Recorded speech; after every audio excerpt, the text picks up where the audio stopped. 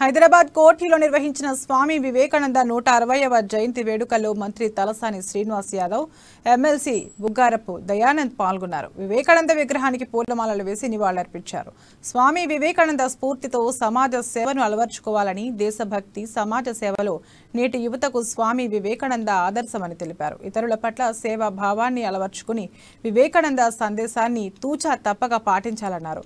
విశ్వమత సభల ద్వారా దేశ సంస్కృతిని సాంప్రదాయాలను ప్రపంచ దేశాలకు తెలియజేసిన గొప్ప వ్యక్తి స్వామి వివేకానంద అని తలసాని శ్రీనివాస్ యాదవ్ కొనియాడారు.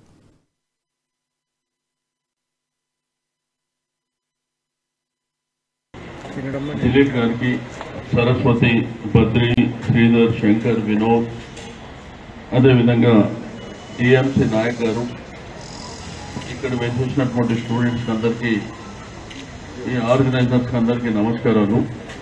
ఎంతో సంతోషదాయకమైనటువంటి సందర్భం. స్వామి వివేకానంద గారి నూట అరవై పుట్టినరోజు సందర్భంగా మరి ప్రతి సంవత్సరం ఆనవాయితీగా వారిని గుర్తు చేసుకోవడం. మీకు తెలుసు స్వామి వివేకానంద